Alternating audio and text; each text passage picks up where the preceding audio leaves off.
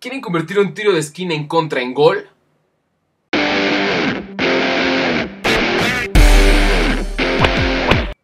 Hola fiferos, yo soy Cerecero y en esta ocasión tendremos un video muy especial ya que esta jugada es clave para poder meter un gol de sorpresa a su rival. ¿Y esto cómo va a iniciar? Pues bueno, bien, con un tiro de esquina. Es un pase largo y van a dejar solos a sus delanteros. Pues bien, fíjense primero en dónde están ubicados sus delanteros y muevan a su, a su portero en esa dirección, en la dirección hacia donde está el delantero al que le van a dar la pelota. Ya que lo tengan ubicado, fíjense cuando vaya a cruzar la línea del medio campo, que es donde lo va a dejar en mejor posición, y denle un pase largo con toda la fuerza. Esto sería el botón X o el cuadrado, depende de qué estén jugando. Y vean, va a dar un pase el portero larguísimo, larguísimo, siempre apuntando hacia el delantero que va a recibir la pelota. Y lo va a dejar en una posición de gol inmejorable. En este caso, bueno, aquí la pateó mal Ibra, pero Ribery llegó y papá, compuso toda la orquesta. Esta jugada es muy buena y es muy efectiva, ya que van a poder sorprender a los rivales con un pase largo, de la nada van a iniciar un contragolpe, van a poder meter gol. Aquí igual me fijo dónde está mi delantero, apunto hacia ahí en la dirección del portero, doy el pase largo, doy el pase largo y vean la posición en la que voy a dejar a mi, a mi delantero. En este caso puedo recortar y mandar un centro donde, bueno, aquí la fallamos porque era chaparrito, pero es una opción clara de gol. Lo que tienen que tomar muy en cuenta es, tener que tengan delanteros muy rápidos adelante, porque si no esto pues no va a funcionar mucho.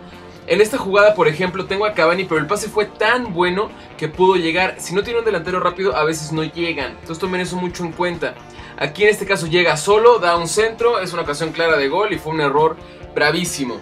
Y bueno, esta jugada no solamente se puede ocupar en tiros de esquina. Aquí se fijan, recupero la pelota y vean la posición es casi igual a la del tiro de esquina.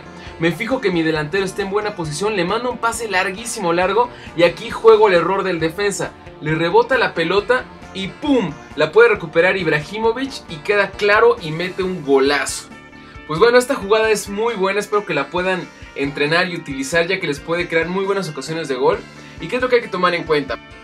Pues hay que tomar en cuenta que esto crea una opción clara de gol. ¿Por qué? Porque va a dejar a sus delanteros libres y solos para enfrentar ya sea a un defensa o quedar solos contra el portero. Esto va a sorprender al rival con un pase largo que inicie un contragolpe. ¿Por qué? Porque el delantero está utilizando a sus. Eh, su rival va a estar utilizando a los delanteros con los que está iniciando su ataque o terminando su ataque y no va a tener control sobre los defensas. Entonces en este caso mientras están corriendo sus delanteros van a quedar solos contra, contra el portero si el pase es bueno. Y bien, aunque la defensa rival te gane la pelota como vieron en el último gol, también les puede rebotar ya que como es una pelota que viene de arriba, a la hora de que ellos quieren recibir la pelota con el pecho o incluso con la pierna, les puede rebotar y ustedes pueden aprovechar este error para convertirlo en un acierto, recuperar la pelota y hacer un gol. Pues bueno, fiferos, espero que este tutorial haya sido de ayuda. Por favor, practiquen la jugada y díganme qué piensan sobre ella, si les salió o no, se o no les salió, si tienen algunas dudas, díganme para poderles responder. Pues bueno, muchas gracias por sintonizar este video.